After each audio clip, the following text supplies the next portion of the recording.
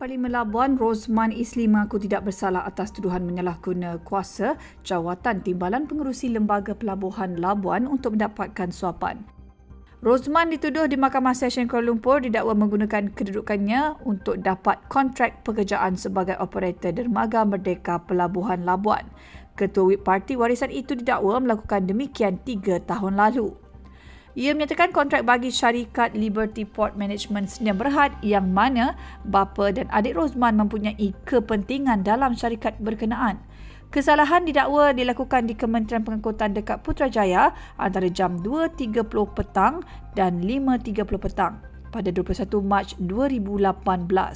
Pendakwaan terhadapnya dibuat mengikut Seksyen 23 Kurungan 1 Akta Suruhanjaya Pencegah Rasuah Malaysia SPRM 2009. Tuduhan itu membawa hukuman penjara maksimum 20 tahun dan denda 5 kali ganda suapan atau RM10,000 atau mana yang lebih tinggi jika sabit kesalahan.